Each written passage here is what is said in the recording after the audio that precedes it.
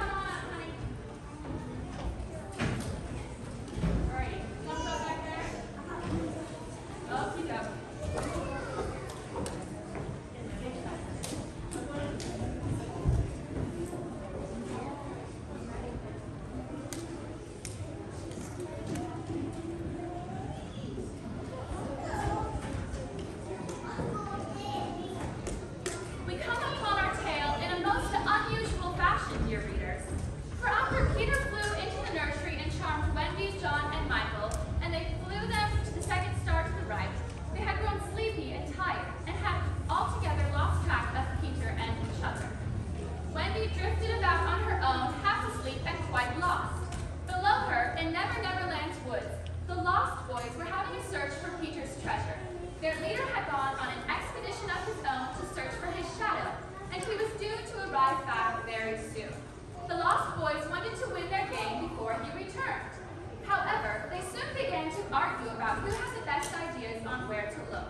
As they were arguing, Nibs came rushing to them with a shout of excitement. I have seen a wonderful thing, a great white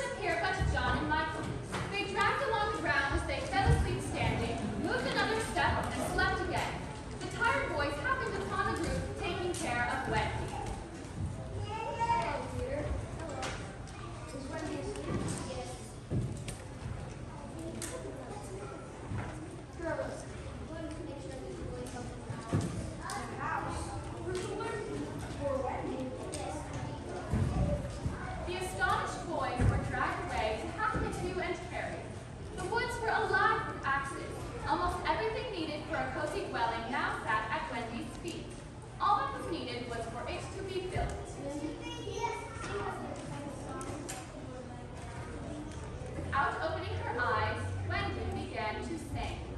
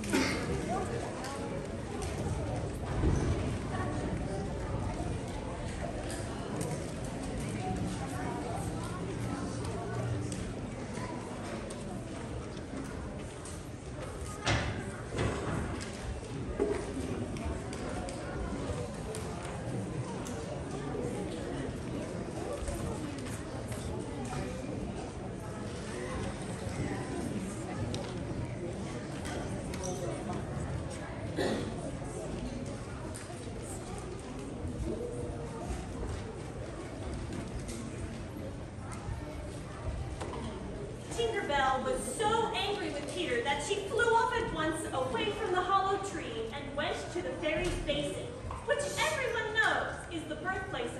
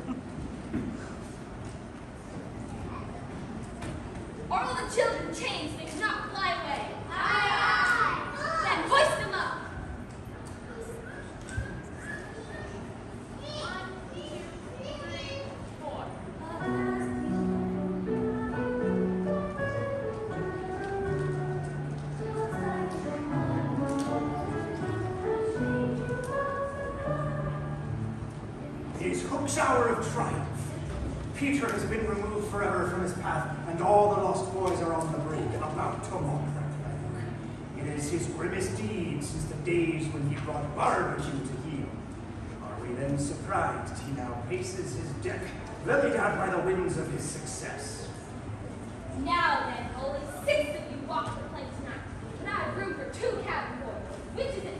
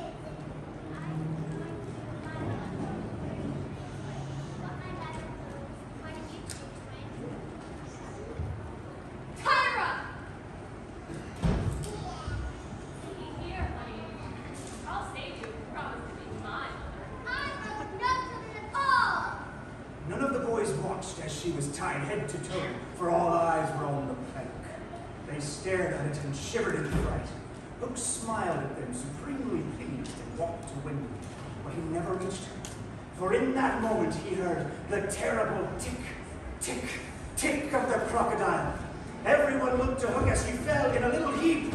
The sound came steadily nearer. He crawled on his hands and knees along the deck as far as he could go. The pirates cleared a passage for him, and as he was brought up against the bulwarks, he cried in fear. Hide me! The pirates gathered around him, ever the loyal The lost boys hurried to the ship's side and peered over it, excited that fate had turned their way, only to be surprised that it was none other than Peter, come to save them.